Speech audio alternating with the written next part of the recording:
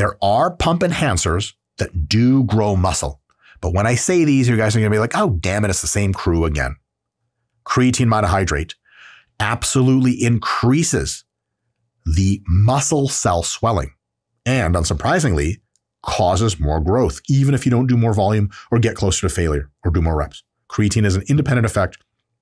It's very likely because, for the most part or entirely, from that actual muscle cell swelling effect. So, creatine gives you better pumps and better growth. The combo of carbs plus insulin plus sodium refill glycogen and blow up your internal cell compartment more in your muscle and absolutely activate AKT mTOR C1 and cause more growth in largely by suppressing proteolysis or otherwise catabolism muscle breakdown.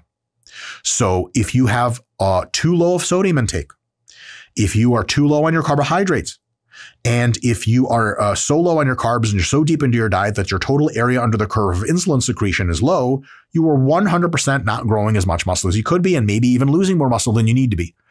Which is why a ton of bodybuilders, especially in the off season when it's grow time, eat a crap load of carbs,